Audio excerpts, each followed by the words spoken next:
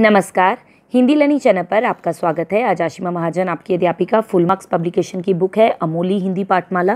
Class seven के students के लिए चैप्टर नंबर एट लेकर प्रस्तुत हुई है। पाठ का नाम है कला का परचम।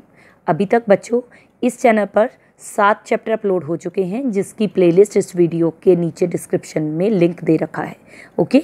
आप जाएँगे डिस्क्रिप्शन में तो आपको लिंक मिल जाएगा क्लास सेवन अमोली हिंदी पाठमाला का। तो आपके सातों के सातों चैप्टर ओपन हो जाएँगे। आज आठवां चैप्टर अपलोड होने जा रहा है कला का परचम, यानी कि कला का झंडा। ओके बेटा वीडियो देखने के बाद उसे लाइक ज़रूर किया कीजिए। आप लोग लाइक का बटन दबाने में कंजूसी क्यों करते हैं, मुझे समझ में नहीं आता। लेकिन प्लीज़ जितने भी बच्चे इस पाठ को देखते हैं, सबसे पहले लाइक का बटन दबा दिया कीजिए। कला का परचम पाठ प्रवेश से शुरू करूँगी। इस पाठ में कला बताया गया है बहुआयामी होती है, यानी कि बहुत से पक्ष होते हैं आर्ट के। कलाकार चिंतनशील, उसकी कला, उसके उस चिंतन, यानी कि जो वो सोचता है, उसका रूप धारण कर लेती है, उसके नज़रिए का रूप धारण कर लेती है, जो वो समाज के प्रति रखता है। एक कलाकार के लिए ना कोई उम्र बाधा बनती है, ना कोई सीमा का बंधन। यानी कि एक कलाकार को अगर अपनी कला दिखानी है तो उसके लिए कोई भी उम्र का वहाँ पर बाउंडेशन नहीं है कि उम्र बतानी है अस्सी साल का तो ये बंदा अपनी कला नहीं दिखा सकता, या आठ साल का तो ये बंदा अपनी कला नहीं दिखा सकता। आठ साल का बच्चा, ठीक है? ये पार्ट ऐसे ही एक निश्चल कलाकार का साक्षात्कार है।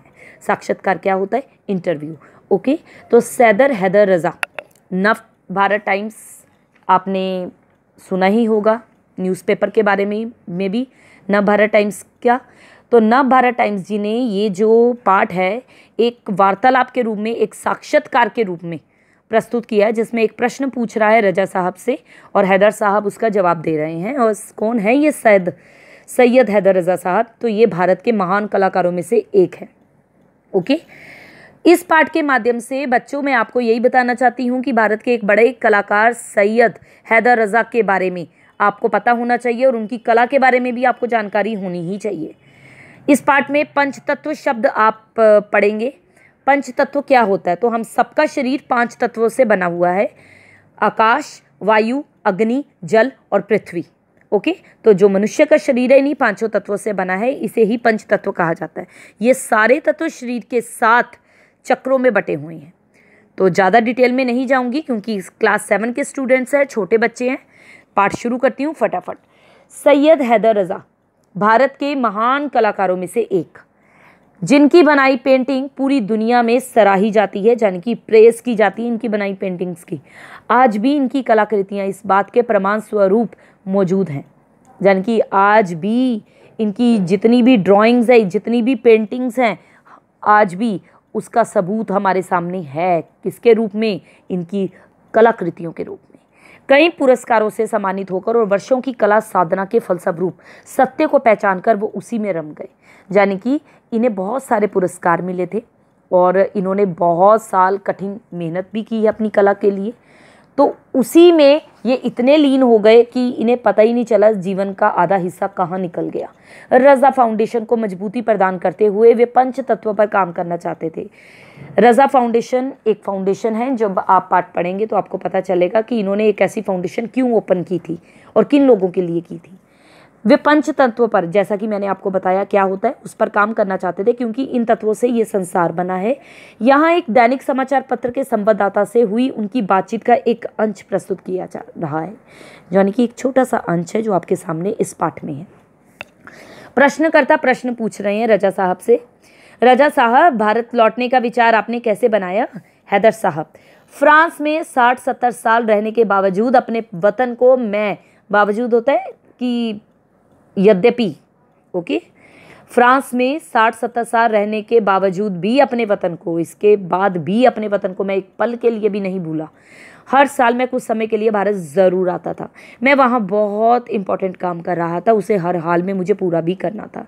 ये भी देखना था कि विश्व कला क्या है और भारतीय कला को क्या होना चाहिए। यानी कि वर्ल्ड की कला को देखते हुए उन्होंने इंडियन कला को ये इंडियन कला को दिखाना चाहते थे कि कैसा होना चाहिए। उसके लिए इन्होंने वर्ल्ड कला, यानी कि विश्व की कला का वर्ल्ड आर्ट का भ्रमण करने के लिए ये फ्रांस गए थे। वैसे बस ही गए थे वो वहाँ जाकर। ये काम पूरा करने में समय लग गया। इसके अलावा वहाँ पर एक बहुत ही खूबसूरत लड़की मिल गई और वो थी चित्रकार। उससे मेरा विवाह हो गया। वह अपने परिवार की इकलौती लड़की थी।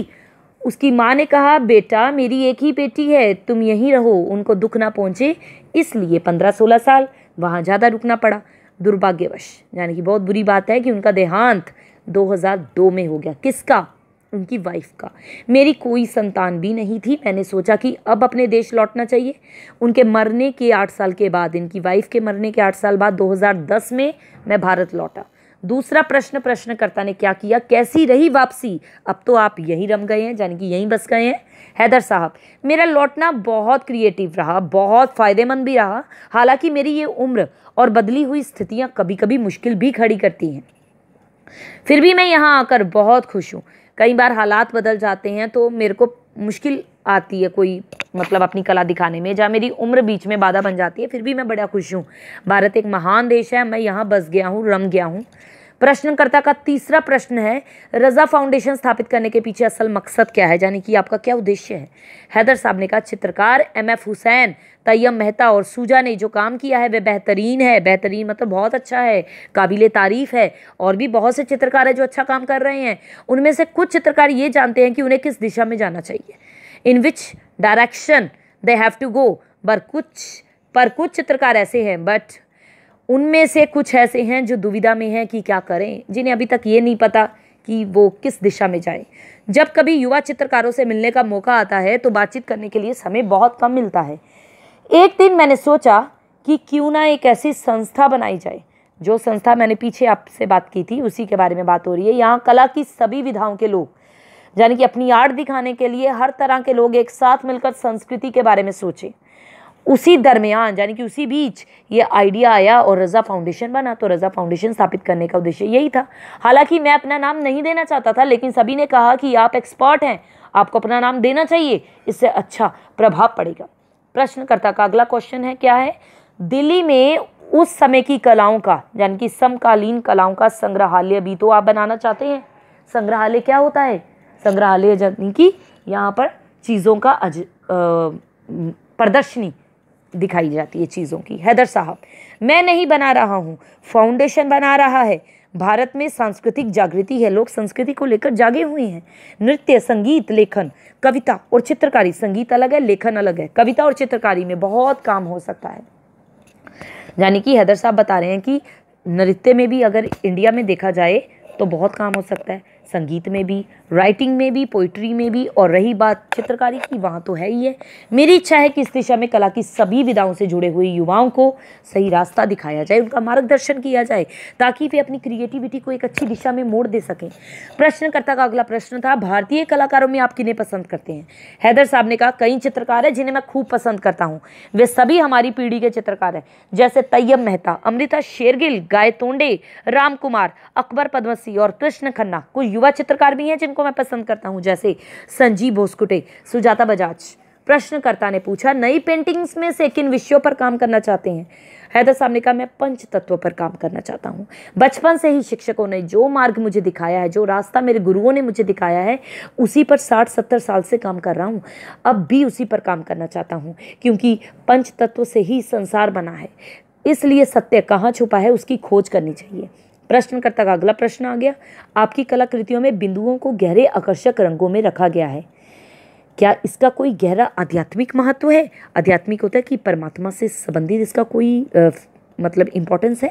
हैदर साहब ने कहा हाँ जैसे हम बिंदु को आत्मा समझकर रंगों के माध्यम से पहचानते हैं, उसी तरह रंगों के माध्यम से आत्मा की ओर जाते हैं। रंगों को समझकर ही उपयोग करना चाहिए, क्योंकि उसके माध्यम से हम हम आत्मा की ओर बढ़ सकते हैं। अगर चित्रकार उस चीज़ को नहीं समझता तो वह आत्मा की ओर नहीं जा सकता। क्योंकि चित्रकार जो होता है, उसकी आत्मा परमात्मा से जुड़ी रहती है और एक लेखक की भी जुड़ी रहती है। प्रश्नकर्ता, भारत में कला, कलाकार की स्थिति और भारतीय कला के भविष्य पर आप क्या कहेंगे? हैदर साहब, इन दिनों महत्वपूर्ण और सामान्य दोनों तरह का काम कला में हो रहा है। यहाँ अच्छा काम होता है, वहाँ मुझे बहुत खुशी होती है और जहाँ बेकार काम होता है, ठीक नहीं लगता। अपनी समझ से हर किसी को ये डिसाइड करना चाहिए कि चित्रकार अपना काम ठीक से कर रहे हैं या नहीं। आधुनिक भारतीय कला का भविष्य बहुत उज्जवल है उज्जला है। मुझे पूरा यकीन है कि देश में ही नहीं, बल्कि दुनिया भर में आधुनिक भारतीय कला का परचम फहराएगा, यानी कि झंडा फहराएगा। बेटा जी, आपको ये पार्ट आई होप समझ में आ गया होगा। वीडियो को लाइक ज़रूर कीजिएगा बार बार बोल रही हूँ। एक बात और, बेटा मेरा फेसबुक पर हिंदी लर्निंग बाय आशमा महाजन के नाम से अकाउंट है और इंस्टाग्राम पे भी हिंदी लर्निंग बाय आशमा महाजन के नाम से अकाउंट है। आप इनको भी इंस्टाग्राम और फेसबुक पे ज़रूर फॉलो कीजिए ताकि आपको आने वाली वीडियोस के बारे में पता रहे कि कौन सी वीडियो आगे अपलोड होने वाली है। ओके स्टूडेंट्स एक बात और, मेरे चैनल पर स्वरचित कविताएँ भी हैं। अगर आपके स्कूल में कभी स्वरचित कविता का कोई भी प्रोग्राम होता है, कोई भी आयोजन होता है तो आप स्वरचित कविताओं के विषय भी बता सकते हैं, मैं वो अपलोड कर दूँगी। और मेरे चैनल पर अभी अभी हाल ही में, यानी कि आज ही के दिन सॉरी कल के दिन, मैंने असेंबली की स्क्रिप्ट, कारगिल विजय दिवस, जो 26 जुलाई को आने वाला है, उस पर अपलोड की है हिंदी में स्क्रिप्ट, जो पूरे यूट्यूब चैनल पर नहीं थी। तो अगर आपको पसंद आए और अगर आप देख रहे हैं उसको तो प्लीज़ लाइक ज़रूर कीजिएगा और अपने दोस्तों के साथ शेयर कीजिएगा। चलिए अभ्यास कार्य करते हैं। अभ्यास कार्य में पहला प्रश्न है, सैयद हैदर हैदर रजा कौन है? तो अब मैंने आपको बता दिया है, सामने आंसर लिखा है, सैयद हैदर रजा के पसंदीदा चित्रकार कौन से ऊपर अभ्यास के नीचे आपको आंसर मिल जाएगा। सैयद हैदर रजा ने भारत लौटने का विचार क्यों बनाया? नीचे आंसर दे दिया गया है और रजा की दृष्टि में भारतीय कला का क्या भविष्य भविष्य बड़ा ही उज्जवल है।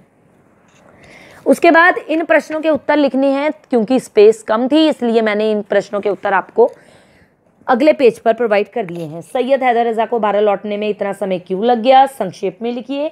रजा फाउंडेशन का मूल उद्देश्य क्या है? सैयद रजा पंचतत्व पर ही क्यों काम करना चाहते थे? क्योंकि उनके टीचर्स ने बचपन से ही उनको यही रास्ता दिखाया था। रजा जी की दृष्टि में बिंदु क्या है? आपको बताया है, बिंदु आत्मा है। और बिंदु को गहरे आकर्षक रंगों में क्यों रखा जाता है? ताकि आत्मा से मिल सके। ओके? पाठांश पढ़कर प्रश्नों के उत्तर लिखने हैं। हैदर साहब को किन चित्रकारों का काम पसंद है? सभी प्रश्नों के उत्तर दे दिए गए हैं आपको। तो बेटा जी, फोर्थ क्वेश्चन में रजा फाउंडेशन बनाने के पीछे क्या सोचती, जो भी सोचती, उसका एरो ऊपर बना दिया गया क्योंकि लाइन पाठांश में लिखी गई थी। ओके रजा फाउंडेशन नाम क्यों रखा गया? तो ये भी आपको आंसर प्रोवाइड कर दिया गया है। उसके बाद आगे बढ़ते हैं। सही उत्तर पर टिक का चिन्ह लगाना है। सैयद हैदर रजा के साठ सत्तर साल तक फ्रांस में रहने का कारण क्या था? ये सारे कारण थे। सैयद हैदर रजा का बहुत वर्ष बाद भारत लौटने का कारण क्या था? ये सारे कारण थे। रजा फाउंडेशन बनाने के पीछे मकसद क्या था? कला की सभी विधाओं के लोग संस्कृति के बारे में सोचे। ओके? बात भाषा की।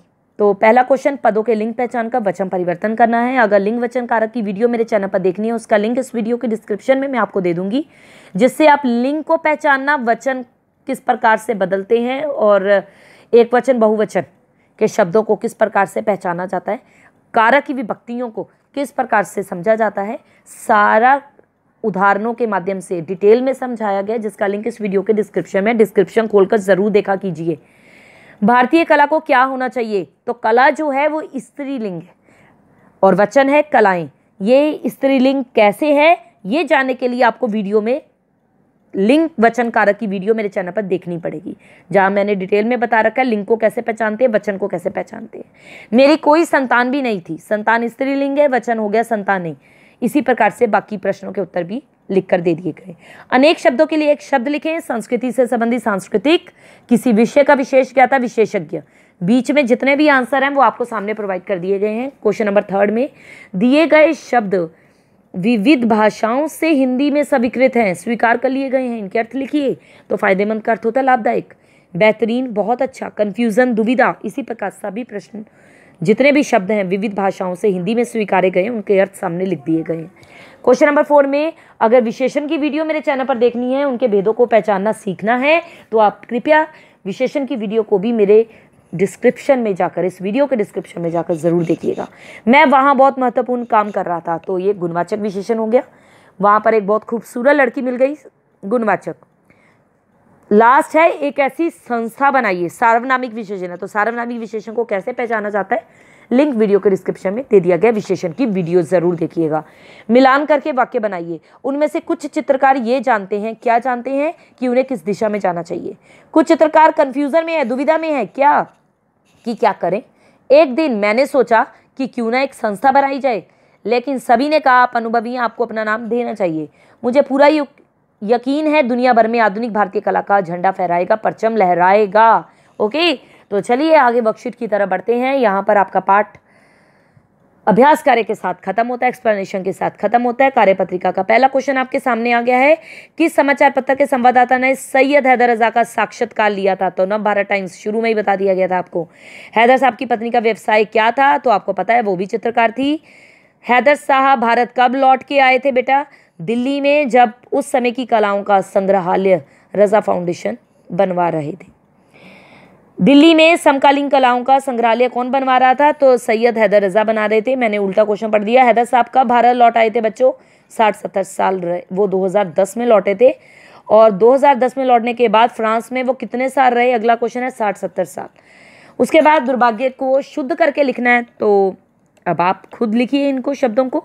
थर्ड क्वेश्चन में वाक्य भेद बताना है। वाक, रचना के आधार पर वाक्य भेद की वीडियो अगर देखनी है, उसका लिंक भी इस वीडियो के डिस्क्रिप्शन में आपको मिल जाएगा।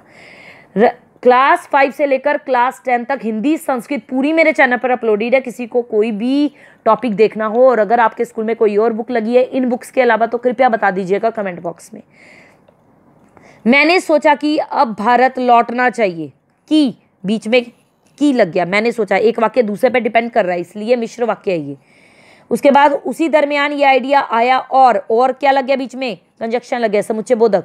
इसलिए ये क्या हो गया? संयुक्त वाक्य हो गया। ओके? इसी प्रकार से भारत में सांस्कृतिक जागृति है, सरल वाक्य है ये। अगले दो प्रश्न भी इसी आधार पर सॉल्व कर दिए।